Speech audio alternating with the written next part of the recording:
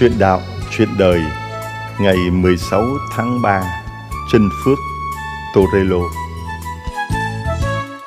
Đam mê nào mà không lôi cuốn? Sắc đẹp nào mà không quyến rũ?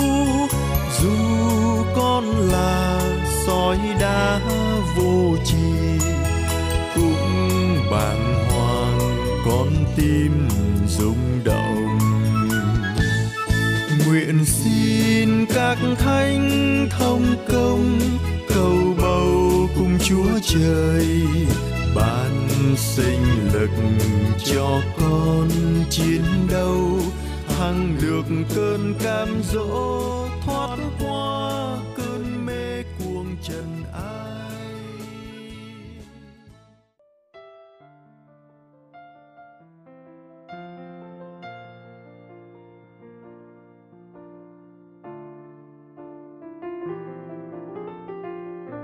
Chuyện đạo, chuyện đời Ngày 16 tháng 3 Trân Phước, Torello Trân Phước Torello sinh năm 1202 ở Poppy bên nước Ý. Cuộc đời của Telero khi còn là một cậu trẻ ở làng quê thật bình dị và chẳng có gì đặc biệt. Nhưng sau cái chết của thân phụ, Tolero bắt đầu thay đổi toàn bộ lối sống. Torello quan hệ với phường bạn bè say xỉn suốt ngày. Chúng suốt ngày lang thang trong thành phố thay vì làm việc lao động. Torello thích những đứa bạn mới và gắng sức thu chiếm lòng họ.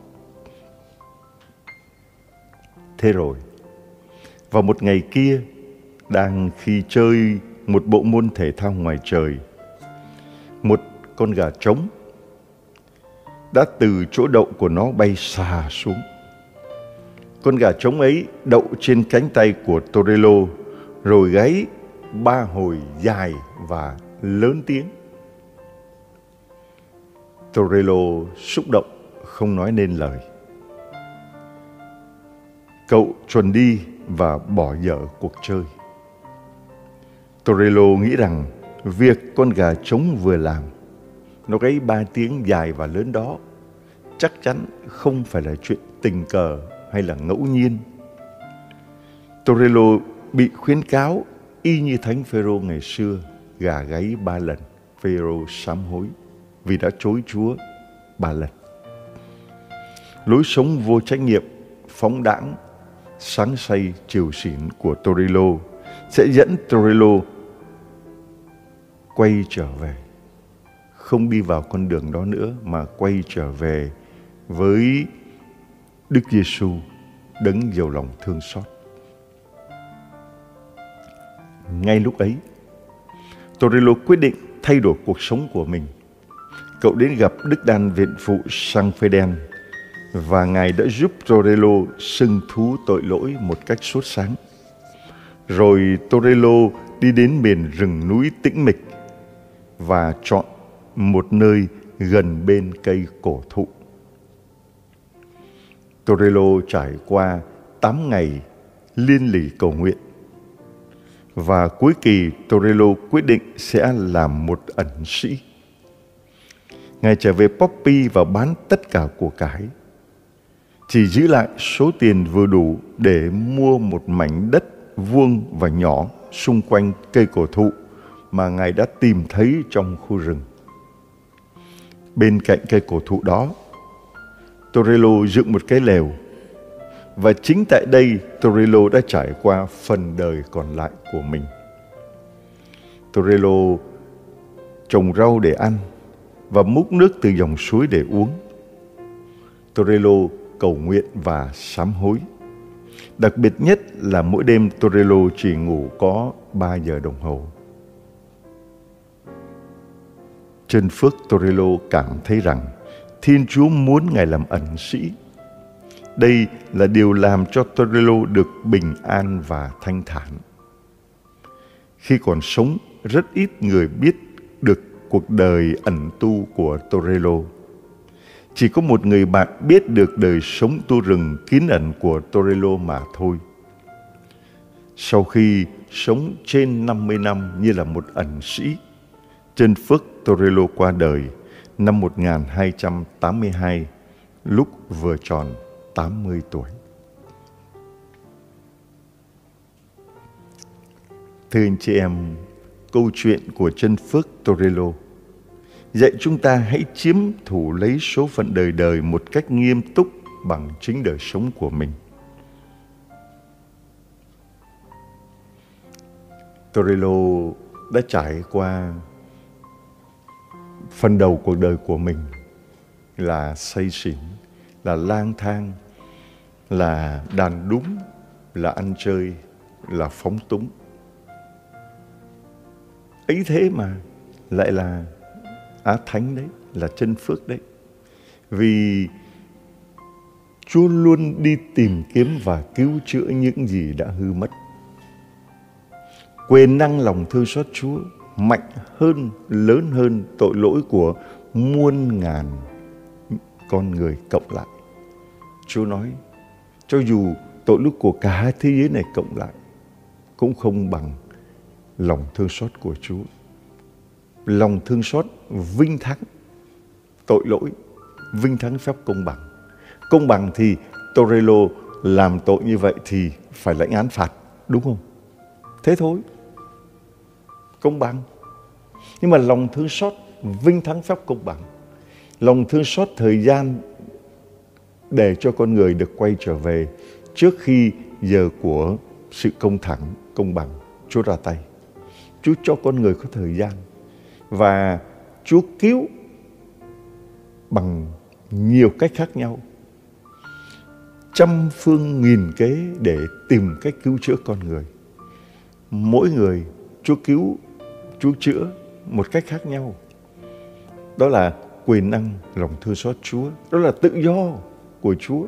Để Chúa thi thố quyền năng của Ngài, thi thố lòng thương xót trên tội lỗi, trên sự dữ, trên quyền lực của ma quỷ. Cuối cùng, quyền năng lòng thương xót đã thắng quyền lực của ma quỷ, của Satan, tội lỗi. Bằng một biến cố mà chúng ta thấy như là chuyện bình thường thôi, ngẫu nhiên thôi mà. Đang chơi như thế, bạn bè đàn đúng như thế, ăn chơi chắc táng như thế, một cái con gà trống xà xuống, động ngay cánh tay, rồi gáy ba hồi, lớn tiếng to, vậy thôi. Nhưng mà Tolero được tác động của Chúa Thánh Thần, liên tưởng đến biến cố Phêrô chối Chúa ba lần. Và Chúa nói trước khi gà gáy, con đã chối thầy ba lần. Đến khi mà nghe tiếng gà gáy thì Phêrô giật mình nhớ lại lời thầy đã nói và sám hối quay trở về. Thì Torello liên tưởng đến chuyện đó và chắc đây cũng là lời cảnh tỉnh của mình. Chúa cũng dùng con gà ngày xưa nhắc nhở Phêrô tội chối Chúa. Thì ngày nay Chúa cũng dùng con gà để nhắc nhở Torello tội ăn chơi bỏ Chúa. Torello không chối Chúa nhưng mà bỏ Chúa. Mà cái cách sống như thế cũng là một hình thức chối Chúa vậy. Thưa anh chị em, Torello sực tỉnh và quyết tâm làm lại cuộc đời của mình quay 180 đang là người xa đà ăn chơi lang thang đàn đúng không biết đâu là bờ chẳng biết đâu là bến. Bây giờ trở thành một con người ẩn tu, bán hết của cải. Mua một miếng đất bên cạnh một cây cổ thụ, dựng một kênh lèo, trồng rau, uống nước suối và sống đời ẩn dật như vậy. Không làm chuyện gì khác ngoài hy sinh, cầu nguyện, ẩn dật, nên thánh đấy. Đâu phải cứ làm những chuyện lẫy lừng đâu phải cứ đi đông đi tây đâu phải cứ nắm chức vụ này nắm chức vụ kia đâu phải là um, tiền hô hậu ủng đâu phải làm được những chuyện lẫy lừng mới là thánh mới được nên thánh mới được phong thánh. Cho nên mình mới thấy rằng là đó là một cái ơn không ai có thể nói là tự mình làm thánh được nhưng mà phải có ơn của Chúa và sự cộng tác của con người, lời đáp ứng lời mời gọi của Thiên Chúa và lời đáp trả của con người. Cả hai. Cho nên Augustino bảo Chúa dựng nên ta không cần ta cộng tác. Nhưng muốn cứu ta thì phải có sự cộng tác này, nắm lấy tay, nắm lấy. Chết đuối đến nơi rồi mà không nắm lấy thì làm sao mà cứu? Đó. Lòng thương xót Chúa cũng vậy thưa anh chị em. Luôn luôn tạo biết bao nhiêu điều kiện, biết bao nhiêu cơ hội cho con người ta quay trở về để đón nhận ơn cứu độ, đón nhận sự cứu chữa về mặt thể xác, về mặt tâm hồn.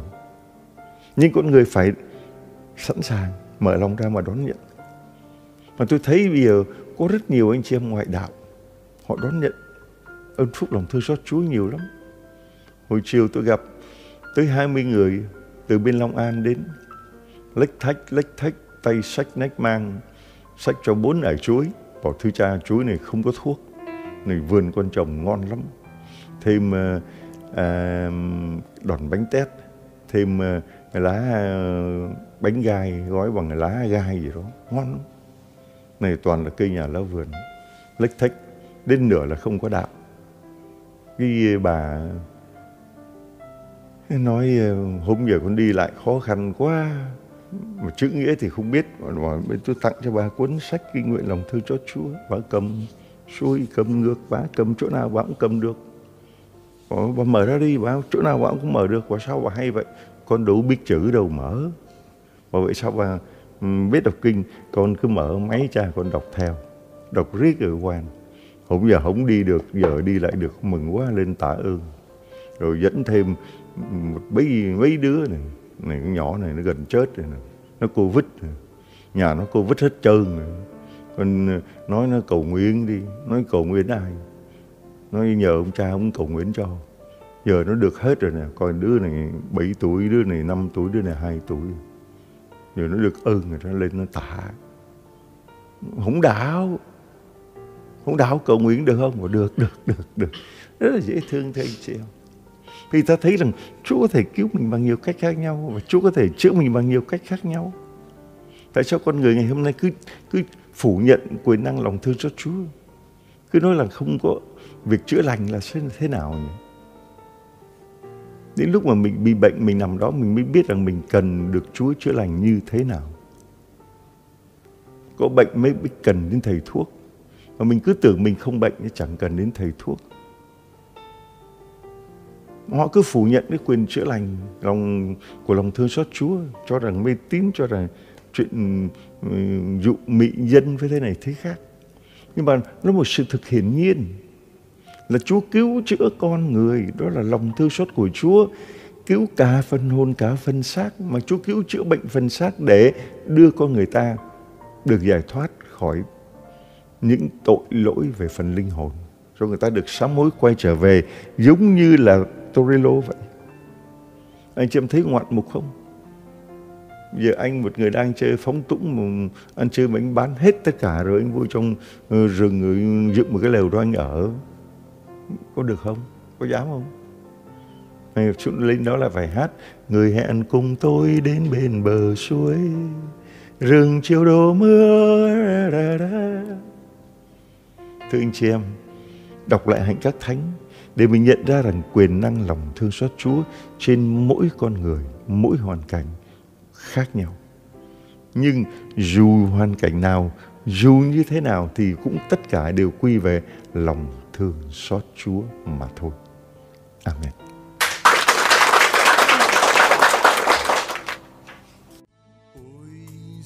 Vọng làm ta vui sướng.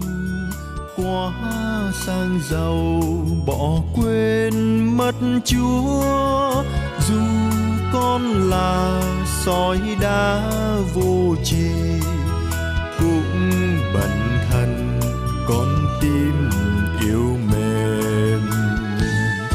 Nguyện xin các thánh thông công cùng chúa trời, ban sinh lực cho con chiến đấu, thắng được cơn cam dỗ, thoát qua cơn mê cuồng trần ai.